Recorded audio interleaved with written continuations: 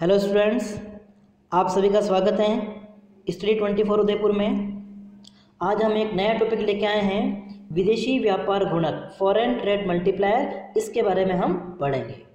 ठीक है? विदेशी व्यापार गुणक है, इसको हम क्या कहते हैं? निर्यात गुणक भी कह सकते हैं। और ये जो गुणक की अवधारणा है किन की जो निवेश गुणक की अवधारणा है, उसी तरीके से ये कार्य करता है। मतलब जब किसी अर्थव्यवस्था में निर्यात बढ़ते हैं तो निर्यात उद्योगों से संबंधित सभी व्यक्तियों की आय क्या होगी? बढ़ेगी। और इससे क्या होगा?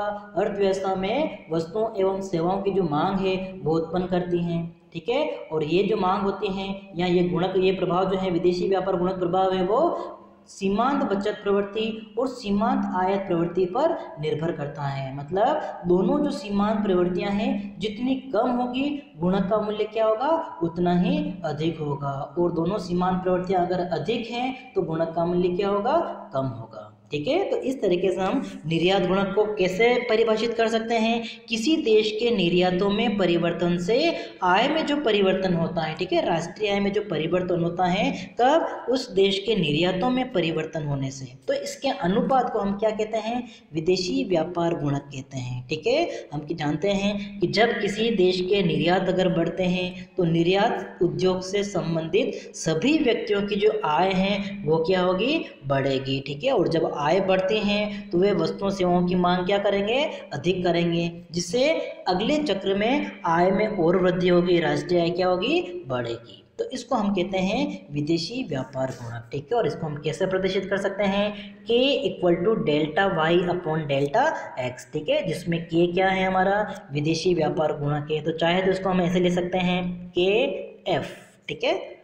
विदेशी व्यापार गुणक बराबर क्या हो गया? डेल्टा वाई, आय में परिवर्तन अपॉन डेल्टा एक्स, निर्यातों में परिवर्तन। तो निर्यातों में परिवर्तन होने से राष्ट्रीय आय में जो परिवर्तन होता है, उसे हम क्या कहते हैं? विदेशी व्यापार गुणक कहते हैं। एक उदाहरण से समझते हैं इसको, कि हम कहें कि किसी देश के जो निर्यात हैं, अगर निर्यातों में कितनी वृद्धि होती हैं? सौ करोड़ की। निर्यातों में सौ करोड़ की वृद्धि होने से राष्ट्रीय आय में अगर दो सौ करोड़ की वृद्धि होती हैं तो ऐसी स्थिति में विदेशी व्यापार गुणक क्या होगा?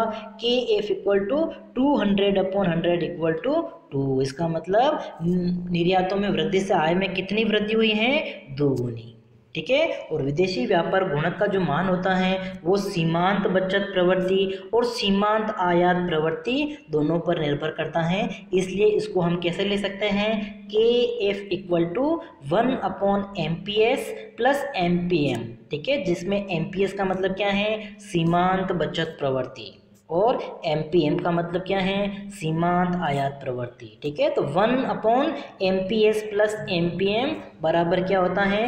विदेशी व्यापार गुणक ठीक है? और ये दोनों मान, विदेशी सीमांत बचत प्रवृत्ति और सीमांत आयात प्रवृत्ति, इनके मान जितने कम होंगे, विदेशी व्यापार गुणक जो है, उतना ही अधिक होगा। क्लियर हो गया यहाँ तक? अब देखिए, इस स्थिति को हम एक उदाहरण के द्वारा समझ लेते हैं। अगर हम मान लेते हैं कि किसी अर्थव्यवस्था में एम कितना है? पॉइंट थ्री और एम कितना है? ज़ीरो पॉइंट टू है। और किसी देश के निर्यात जो हैं, वो कितने बढ़ते हैं? एक हज़ार करोड़। तो ऐसी स्थिति में विदेशी व्यापार गुणक कितना होगा? विदेशी व्यापार गुणक हम निकाल लेते हैं, ठीक है? के एफ़ अपॉन क्या होता है? Delta Y upon delta X या इसको हम कह सकते हैं one upon M P S plus M P M होता है। तो यहाँ पर हमारे पास में एमपीएस कितना है? ज़ीरो पॉइंट थ्री और एमपीएम कितना है? ज़ीरो पॉइंट टू तो इससे हमारे पास में क्या आ जाएगा? विदेशी व्यापार गुणक आ जाएगा और आय में कितनी वृद्धि होगी? जितना निर्यात बढ़ रहे हैं उसका गुणा। तो इसको हम क्या कर सकते हैं? इंटू डेल्टा एक्स कर सकते हैं, ठीक है? निर्यातों में वृद्धि कितनी हुई? एक हज़ार करोड़ की। तो उससे हम मल्टीप्लाई कर लेंगे। या ये जो हमारा फॉर्मूला है, ठीक है, उससे हम कैलकुलेट कर सकते हैं कि के एफ़ इक्वल टू क्या होता है? Delta Y upon delta X और ये किसके इक्वल होता है? One upon M P S plus M P M हमको यहाँ पे क्या कैलकुलेट करना है? राष्ट्रीय आय में कितनी वृद्धि होगी? तो ये डेल्टा एक्स जो है वो इधर आके मल्टीप्लाई हो जाएगा, ठीक है? तो इस तरीके से कितना आया यहाँ पे? दो हज़ार करोड़, ठीक है? इसका मतलब क्या हो गया? कि अगर निर्यातों में एक हज़ार करोड़ की वृद्धि होती है और एमपीएस और एमपीएम के मान कितने हैं? 0.3 और 0.2 तो ऐसी स्थिति में राष्ट्रीय आय में कितनी वृद्धि होगी? 2000 करोड़ की, ठीक है? क्योंकि इसमें विदेशी व्यापार गुणक का मान कितना आएगा? टू आएगा, ठीक है? दो आएगा, इसका मतलब दुगुनी। निर्यातों में जितनी वृद्धि होगी, उसकी दुगुनी राष्ट्रीय आय में वृद्धि होती है। ठीक है? और विदेशी व्यापार जो गुणक है, उसको हम इस तरीके से ज्ञात कर सकते हैं। हम जानते हैं कि y इक्वल टू क्या होता है? c plus I plus X minus M होता है। ठीक है? इस c को हम अगर इधर ले आए तो क्या बचेगा? y minus C equal to I plus X plus X minus M बचेगा इधर, ठीक है? फिर हम क्या करते देखो वाई माइनस सी मतलब आय में से अगर हम उपभोग का मूल्य माइनस कर दें तो क्या बचेगा हमारे पास में? बचत, ठीक है? एस तो एस इक्वल टू क्या हो गया? I plus X minus M अब एम को हम इधर ले आते हैं, ठीक है? उधर क्या था? माइनस में था, ठीक है? ये जो हमारा, जो एम है, ये किसको प्रदर्शित करता है? इम्पोर्ट को। इम्पोर्ट को अगर हम इधर ले आते हैं तो इधर क्या हो जाएगा? एस प्लस एम ठीक है, क्योंकि ये देखो माइनस एम है, इधर आके क्या हो जाएगा? प्लस एम इक्वल टू इधर क्या बचेगा? आई प्लस एक्स ठीक है?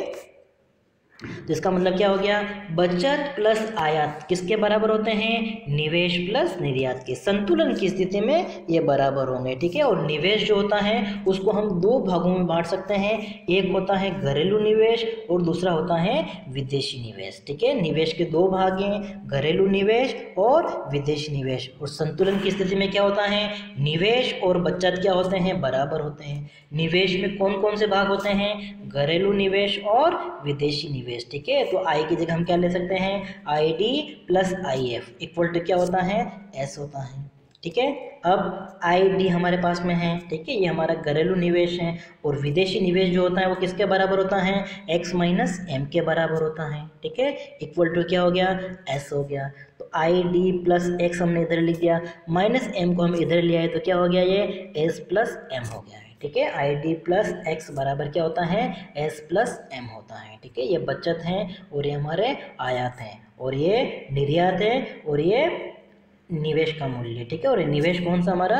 घरेलू निवेश है, ठीक है? और घरेलू निवेश का मान अगर शून्य होता है तो इस स्थिति में क्या होगा? x इक्वल टू क्या होगा? s प्लस एम होगा। या x में जो परिवर्तन है, वो किसके इक्वल होगा? s में परिवर्तन और आयात में परिवर्तन, ठीक है? आयात में परिवर्तन और बचत में परिवर्तन के बराबर होगा।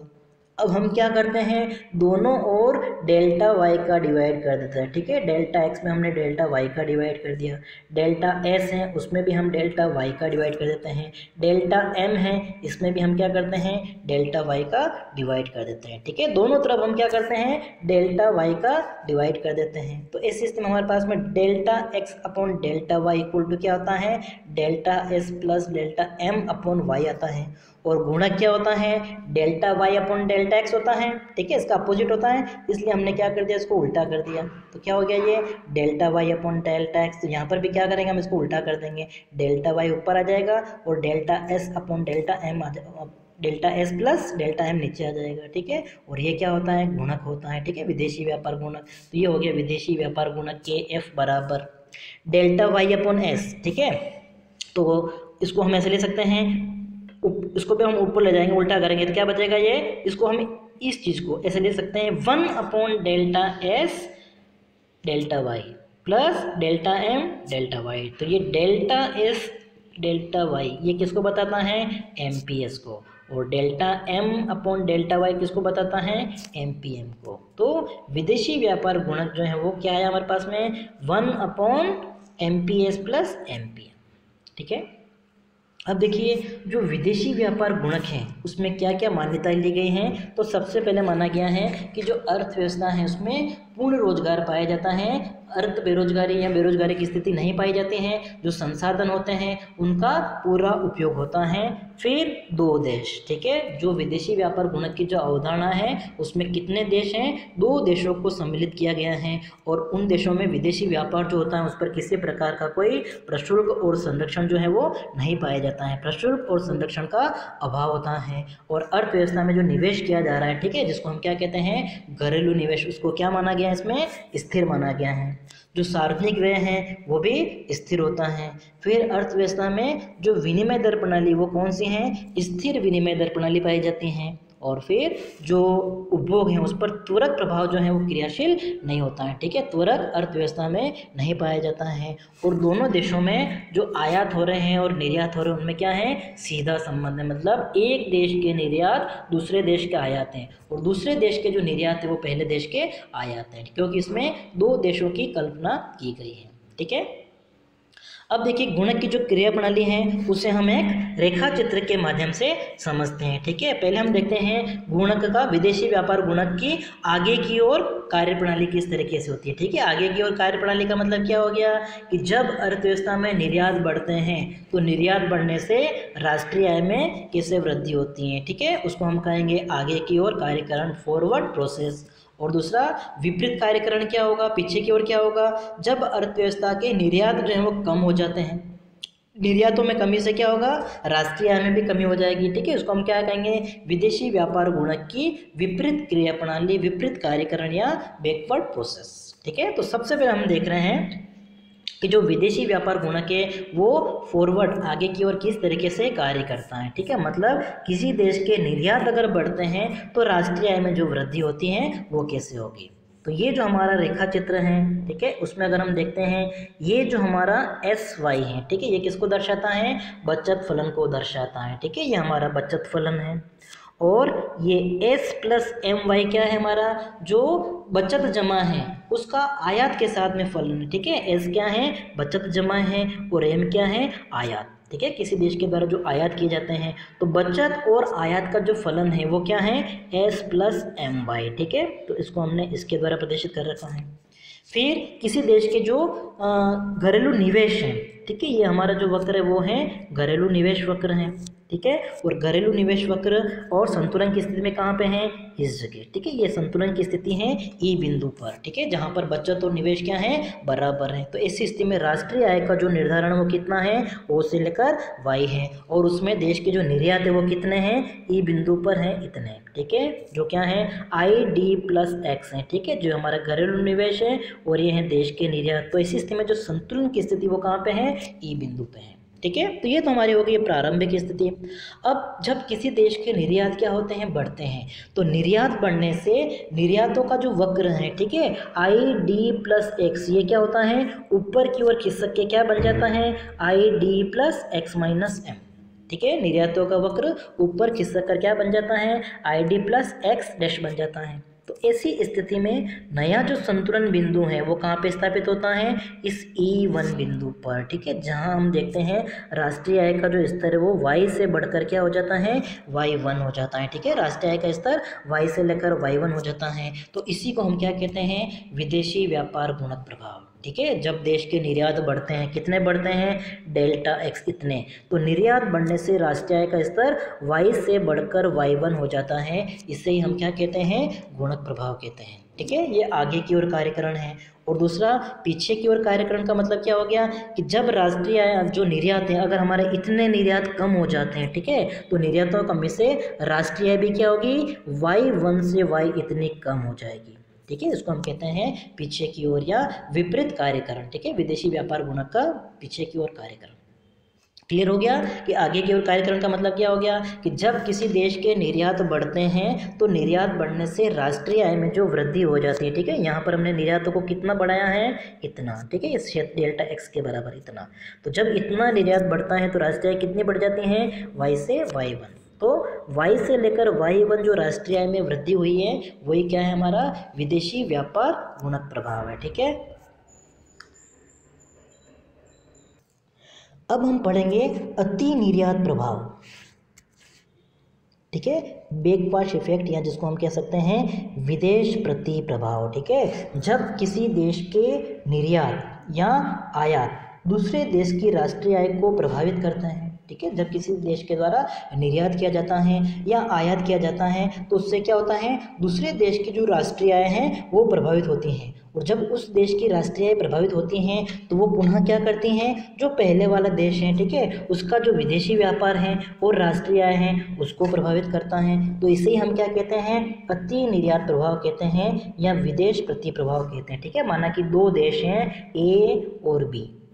अब ए देश क्या करता है? निर्यात करता है या आयात करता है? तो ए देश के निर्यात और आयातों से क्या होता है? बी देश की जो राष्ट्रीय आय है, वो प्रभावित होती हैं, ठीक है? इस देश की राष्ट्रीय आय क्या होगी? कम हो सकती हैं या ज़्यादा हो सकती हैं। और इस देश की जो राष्ट्रीय आय जो कम हो रही है या ज़्यादा हो रही है, वो आगे क्या करेगी? इस ए देश की जो राष्ट्रीय आय है, जो इस देश का विदेशी व्यापार है, उसको प्रभावित करेगा। तो इसी को हम क्या कहते हैं? अति निर्यात प्रभाव कहते हैं, विदेश प्रति प्रभाव कहते हैं।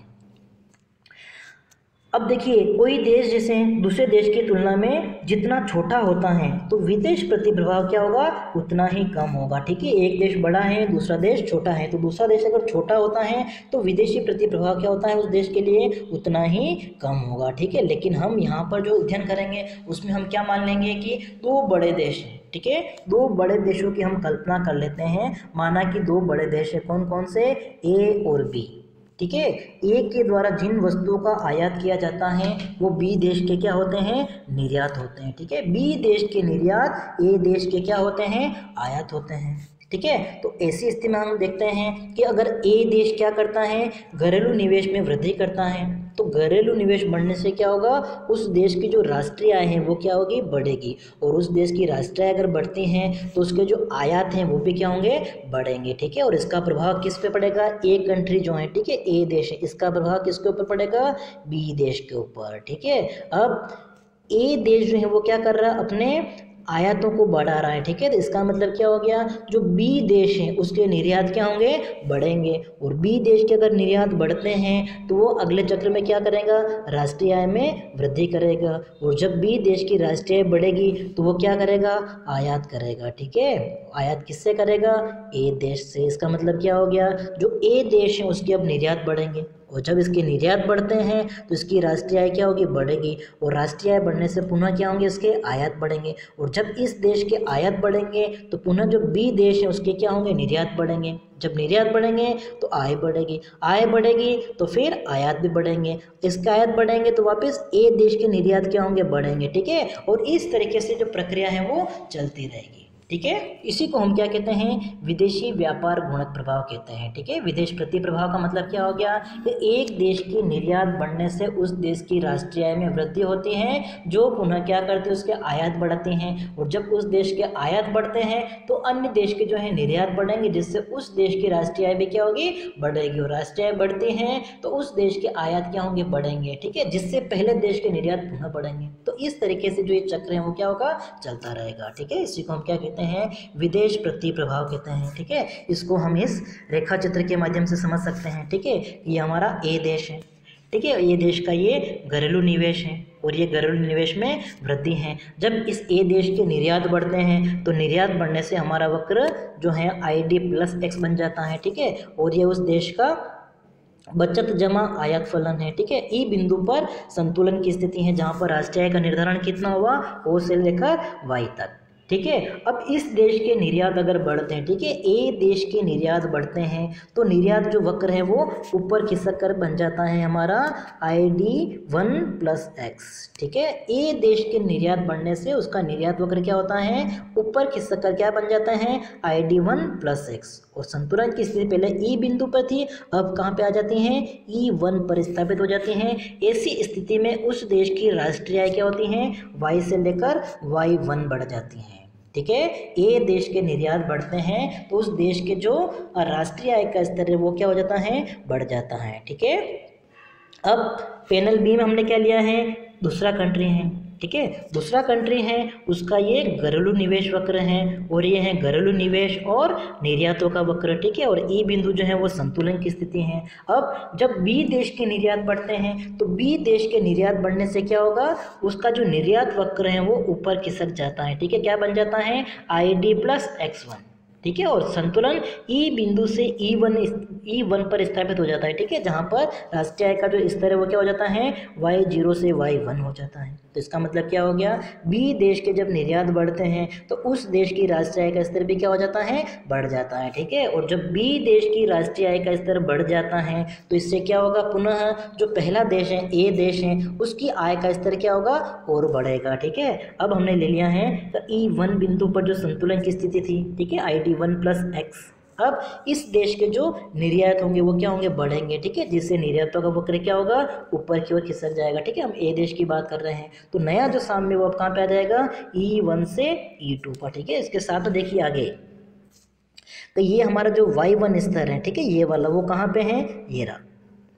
अब अगले चरण में क्या हो रहा है? अगर निर्यात बढ़ता है तो निर्यात वक्र और ऊपर खिसक जाता है, ठीक है? या अगर हम इसी डायग्राम में बनाएँगे तो अब निर्यात वक्र ऊपर खिसक के यहाँ पे आ जाता है, जिससे पुनः राष्ट्रीय का स्तर वाई वन से लेकर वाई टू हो जाता है, ठीक है? उसको हमने यहाँ पे समझा रखा है वाई से वाई टू हो जाता है वाई वन से वाई टू राष्ट्रीय हो जाती है, ठीक है? और इस तरीके से प्रक्रिया क्या होगी? चलती रहेगी, ठीक है? अब ए देश की राष्ट्रीय का स्तर बढ़ गया है, अगले चरण में क्या होगा? बी देश की राष्ट्रीय का स्तर बढ़ेगा और इस तरीके से चलती रहेगी ये प्रक्रिया, ठीक है? इसी को हम क्या कहते हैं? गुणक प्रभाव या विदेश प्रति प्रभाव कहते हैं।